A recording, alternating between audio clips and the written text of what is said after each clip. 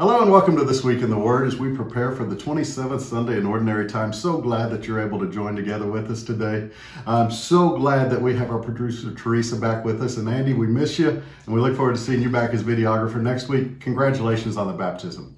Father Jeff, how are you doing today? Well, I'm I'm great. I'm great. That's the baptism of Andy's son, Joel, not Andy's baptism. So Oh, just very to true. clarify Thank you, thank you. So I am doing well. I am doing well. Excellent, excellent. So today we're going to dive into some readings from the book of Genesis. Our second reading, we have left the book of James now. We're going into Hebrews Hebrews. chapter 2, and then we'll get into our gospel here in a little while. Uh, so as we open up today and we look at this first reading, Father, we're going to have this reading from the book of Genesis, and it's going to be found in chapter 2, verses 18 through 24. Uh, many people will recognize this reading um, as we have this reading about man and woman kind of being at the center of God's creation. And, um, and we see that there's a complementariousness. I never know how to say a word right there, but but they're complementary towards one another. Complimentary. so, um, and that the woman is a help fit or a help meet, if you look at that authorized version to the man. Um, and then there's all kinds of theories about the rib. Can you break this uh, reading open to us and the significance here? Sure, sure. When we look at this reading, what we find in chapter 2, we often look at these first two chapters of Genesis as do we believe creation occurred historically this way or didn't occur historically this way? And the point of the chapters isn't to say this is historical documentation or not. The church believes you can believe either way with that. The point is to see the deeper meaning, as in all scripture passages, of, of what God is saying to us. And so what we find here is not just an account of creation, but we find, especially in Genesis chapter 2, the story of the love of God for humanity. It's there in chapter 1, but it becomes more explicit in chapter 2, where God creates Adam, mm-hmm. man, the word Hadam, man, and he molds him out of the earth. And in molding him out of the earth, he is a work of art, like a sculptor works with clay. And then what we find is God breathes his life into him. God breathes his life into him, thus filling him with a divine life within him, not a separate divine life from God, but God's very life within him. And then God looks and finds that Adam is not happy.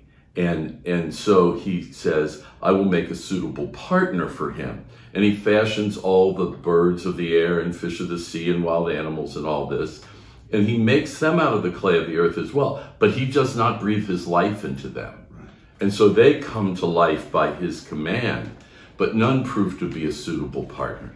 So we find God loving man. Now, in this story here, I say, I don't care what you say about the historicity of chapter one or not. But in this chapter, if you're saying this is absolutely historical, then you're saying God is not all knowing because he found that Adam wasn't happy with all these things. The story is told for the deeper meaning of God's care and love for Adam. And then he puts Adam in a deep sleep and draws a rib out of Adam and fashions it into Eve. So that same creative spirit. But what's interesting here that I think we don't, we often look at in a wrong way is God made Adam out of the clay of the earth. He made the animals too and formed them out of the ground. Mm-hmm. But they aren't united. God takes from Adam, takes from the man, and of his very substance makes Eve to show that they are one. That's how they come flesh of my flesh, bone of my bones. That's why the draw is there because they complete each other. Right. And so that's a very important sign. God loves Adam and Eve and fashions them, fashions them together.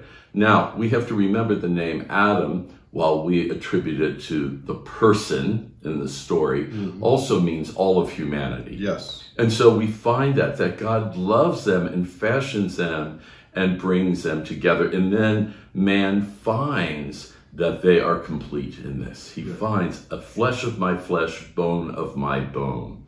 And then it goes on to say, this is why a man leaves his father and mother and clings to his wife, and the two of them become one flesh.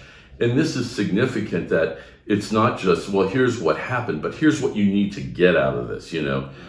A man leaves his father and mother. In other words, when a husband and wife, when a man and woman come together to form a family, there is something new to that dimension that isn't simply an addition to a family that's there. Yes. It is, they're formed in a new way. Now, often back in that culture, it was the woman who left the man. Hmm. But the point is, the man leaves life as he knew it to take on this new life with his wife. Clearly, this is uh, written from a male perspective. That's the history of the time and that. But when we look at that, we can see several things that can speak to us today. Number one, woman in the story is not understood to be um, subsidiary or having come from the man, and therefore she is less. Right. They're equal by the substance that they are made of, and they are of one and drawn together in that.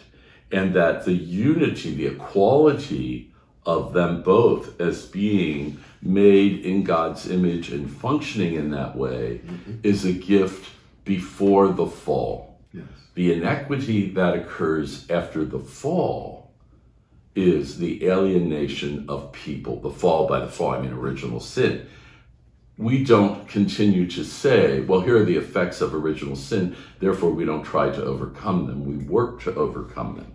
And so we find in this this act of love of God for humanity, and that humanity is then meant because we're made in the image of God, filled with the breath of God, we are meant to love as God loves. And so we find this sense of self giving and, and nurturing there between the man and the woman. And you were talking about Adam uh, being Mm-hmm. human being. That uh, Hebrew for the woman, Ezer Kenegdo, Uh-huh. literally is a helper, like Yeah. the type of help that you normally would only Yeah. get from God. Right. Most of the time when you see that reference. So, so men out there, remember, uh, your wife is a gift from God. You know. yeah, exactly. And the fact that she is called a helper does not make her subservient, but makes her a necessity for life. Right. If Yeah. you wouldn't consider that kind of help from God to be He's your servant, then we can't look at it Yeah. the other way around Right. either. Right. So my mentor used to say uh, she came from not exactly theological, but she came from the rib because she's by your side. She Yes. is right, Right. there with you, and, Uh-huh. and that word flesh literally means human being as compared to the Yes. nature of God. Right. So we're a complete human being Right. when we're together. Yeah. Yeah. Thank you for Yeah. breaking that down for us today um, as we take a look at that first reading. Mm-hmm. Now we're going to go on to Hebrews chapter 2, uh, verses 9 through 11. And this will be our first letter of Hebrews for I think the next six weeks. Right. And today and the next two Sundays, this author is going to begin building a case for us for the high priesthood of Jesus Christ, Yes. the Yes. Mm-hmm. eschatological, the end times high priest of Jesus Christ. And although we can look, and if you want to be very literal, say, well, Jesus wasn't from the tribe of Levi. Right. He has every other qualification Mm-hmm. to be our high priest. From our, he uh, talks about our common humanity, Mm-hmm. our common origin, and then in verse nine, he even calls us brothers. He calls us sisters. So, could you break this reading Sure, for us? sure. First of all, when, as we look at the letter to the Hebrews, um, there's several central themes, but the one that this uh, our readings are going to hit on in many ways is going to be the high priesthood of Jesus Christ, who offered himself as the sacrifice for our salvation and is the high priest. And clearly, he wasn't from the tribe of Levi, which is where all the Jewish priests came from, but he is of the line of Melchizedek, which is wider and greater than um, than Levi.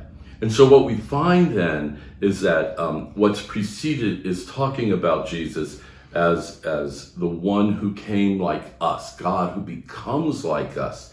And and so we pick up here in that part, he for a little while, meaning his time on earth, was made lower than the angels, human, that by the grace of God he may taste death for everyone. And what we find there is that very notion of God humbles himself for us so that we might be raised up to God.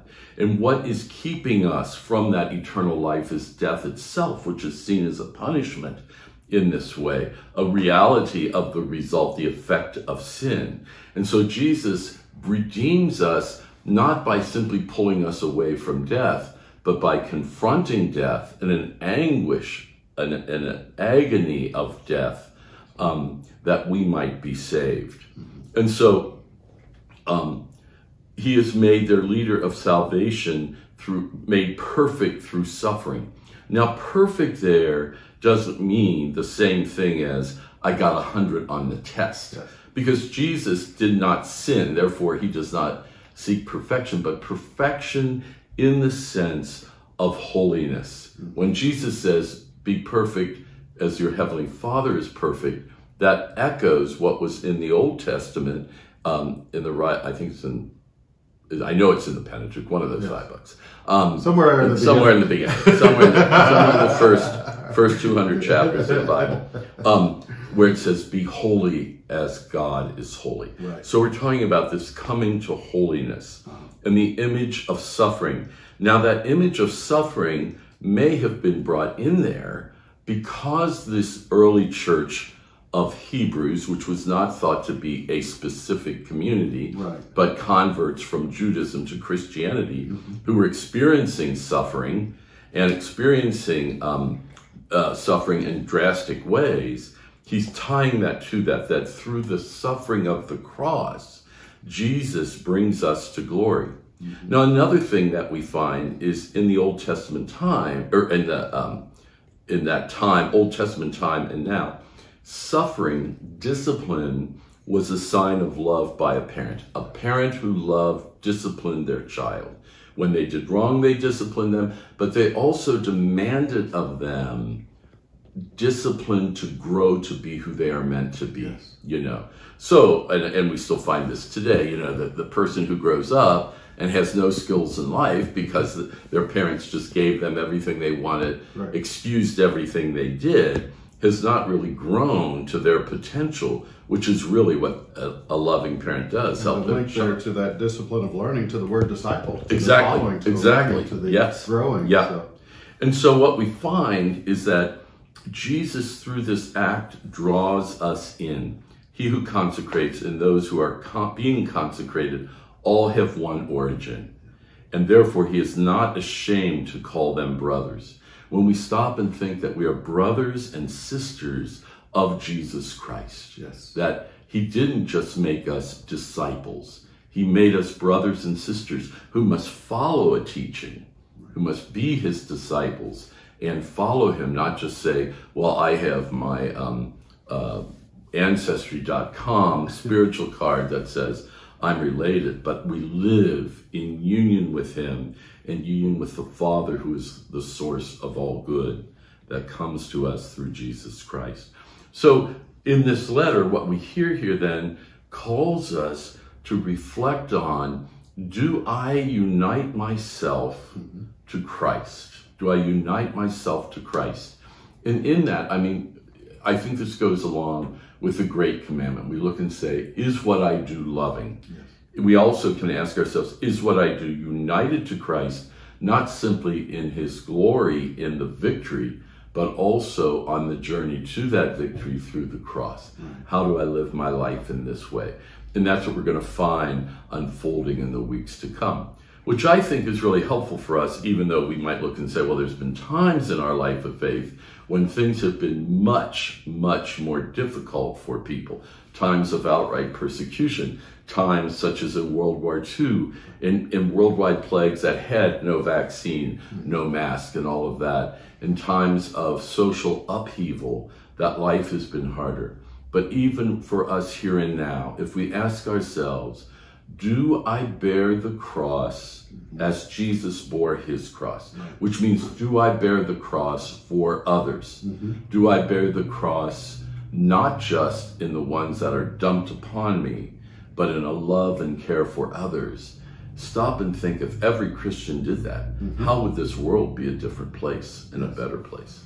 You know, when I look at this reading, I often remember something my father said to me, which is that you're a Hollis and that has high expectations when I read readings like this, I think about what it means to be a Christian. Yes. The expectations mm-hmm. that mm-hmm. He's offered that to us mm-hmm. in love, but we don't abuse grace and mercy. Right. We've got to live this out.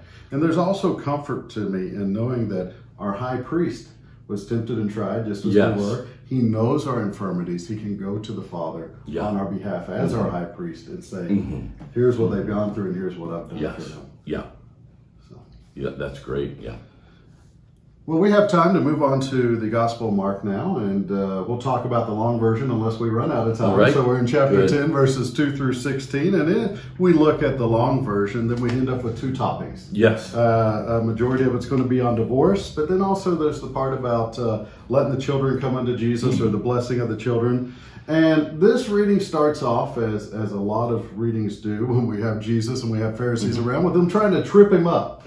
So Jesus refuses to argue about legal loopholes we're going to see, but instead he reminds his listeners of the original plan for humans. So can you take us through this? All right. So in this in this uh, version of the story, which there's uh, this version in Mark and a version in Matthew, the Pharisees approached Jesus and asked, "Is it lawful for lawful for a man to divorce his wife?" They were testing him. Now, all Jews believed divorce was allowed, but it was only allowed by a man. He had to give a writ of divorce, as Moses said. In other words, give a paper to the to his wife that says you are free from free to marry. Right. You know, but Jesus has been teaching that there is no divorce. That once two people are joined together, they're joined together in an um, unbreakable bond. So it's it's clear that here they're trying to bring this subject up, which would be like, oh my gosh! In, in Matthew's gospel, they're like, um, when Jesus teaches this reading, they're like afterwards, they're like, oh my gosh, who can live this out? And Jesus says, it is lived out. It is to be lived out. So, anyhow, at this point, they're trying to cause problems. And Jesus says, What did Moses command you? And they say, Moses permitted a husband to write a bill of divorce and dismiss her. But Jesus told them, Because of the hardness of your hearts, he wrote this commandment. But from the beginning of creation, God made them male and female, and for this reason a man shall leave his father and mother and be joined to his wife, and the two shall become one flesh. I believe we just covered that not We, long ago. we just did. we just did. So Jesus is looking back to say, what was the original intent before the fall? Mm-hmm. And he says that you become one flesh. Now, that one flesh aspect can be understood on many levels. It can be understood on the first level of, of uh, marital intercourse, and the joining together is one flesh, which is not some incidental, lustful thing God tolerates, but is a sign of an act of love and total self giving, body and soul, to another and receiving that gift from the other. But it also means to become one in living and self giving to the other. And so we find that there. So Jesus says that, and then, um, uh, and so they're no longer two flesh but one. And what God has joined, no one must separate. No one must separate. And so that teaching's there. Now, when we look at this, that's the end of the teaching. So we have a teaching that's difficult at that time to follow and difficult today for people to follow. And there's many, many pastoral things that have to be looked at in light of this command. It's not that we can just say, well, this is the way it is. So if you're unhappy, you just stick it out. And if you end up divorced, you're just on your own and, and we don't care about you. We have to be responsive to those things. Well, you know, and if I can just add something in there, I always like to look Uh-huh. at how many times we see certain phrases. And on that hardness of the heart, Jesus only used that two other times. Mm-hmm. And Jesus used the hardness of the heart in chapter 3, verse 5, when the Pharisees just really couldn't grasp. They were upset with him for healing on the Sabbath. Mm-hmm. Uh-huh. And he used it again when they failed to understand the miracles of the loaves, talking about the disciples. Mm-hmm. Yeah. Both other times he used the hardness of the heart. It wasn't so much as drastic outright sin as much as it seemed like he was addressing this falling short of a standard. Yeah. You know, and so Mm-hmm. as you said, the church has looked at that on many aspects, but there's only two other times this was Yeah. Mm-hmm. used, and it was always addressed falling short of a standard. Yeah. So And so and so we find then that Jesus repeats that and says, Whoever divorces his wife and marries another commits adultery against her, and if she divorces her husband and marries another, she commits adultery. Those things we all have to look at, and the church is always willing to speak to anyone without judgment on the situation they might have of a second marriage or of the trauma of divorce because people don't end up divorced simply because they are obstinate, mean, unfaithful people. Often it is that they have tried their best mm-hmm. and this just isn't going to work. And so that, you know, we have to be there. So I urge anyone who doesn't understand this and needs further explanation, feel free to call me, yes. feel free to express your frustration with it or anything so that we can look at possibilities that are there. Yes. Now, the other thing, though, I think we need to look at is Jesus gives a teaching, but what is behind the teaching? Why does he say that? And he says it for two reasons. One is that it is given to us by God, mm-hmm. and therefore, what God has given, we must follow. The second thing is, though, that remember how we look back at Genesis and said, Adam had the life of God breathed into him, yes. as Eve did, and that Adam and Eve are made in the divine image, which we hear in the first chapter of Genesis. Right. We are to love as God loves. And that love, as we'll find out, in um, uh, that love reflects the love of God for his church in marriage. It's meant to be a love that goes beyond everyday love and concern and compassion for others.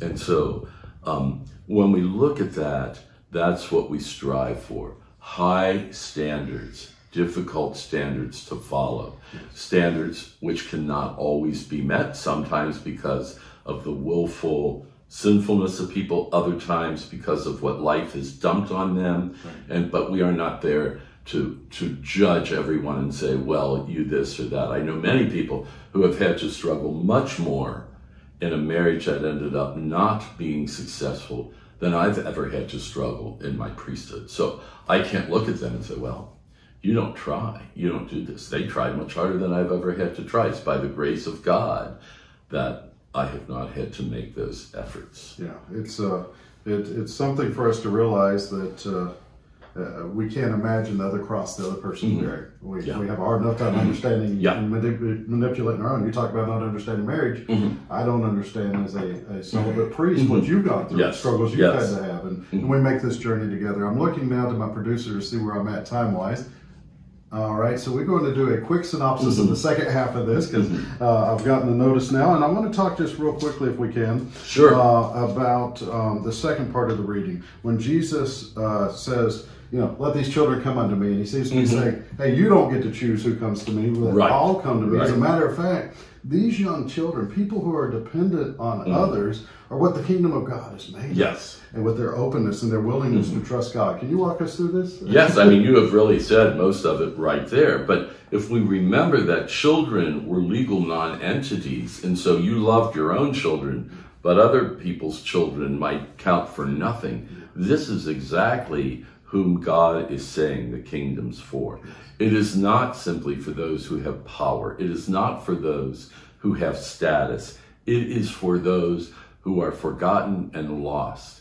And drawn into that, we can tag along. We who are not forgotten, who are not lost, who have power, who have ability, can tag along and be joined to that and, and drawn into that.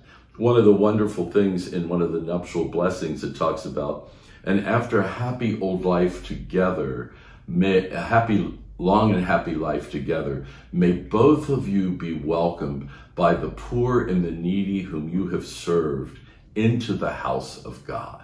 They're the ones who will say to God, Yes, let them in. It's not going to be great people who say, Oh, yeah, you can let them in. They're pretty good. It's those people who have been forgotten. And so that sense of drawing into this too. Mm-hmm. And I think too, in this um, month of October, with um, uh, being the month of um, respect for life, to remember that the life of those on the margin, unborn life, elderly life, life of people who are not seen as productive according to the world is exactly who the kingdom's for. Yes. And we should not be look at ending their lives for convenience or for profit or any other reason. Amen. So I just encourage you with those last couple of verses to let those children to you be the example of how to receive and how to experience God's kingdom. With that note, Father, would you give us a prayer and a blessing as we wrap Yes. up today's session of This Week in the Word? O Lord, bless us all. Draw us more deeply into your life. Make us more in your image. Help us to live in union with you. And may the blessing of Almighty God, the Father, the Son, and the Holy Spirit come upon you all and remain with you forever. Amen.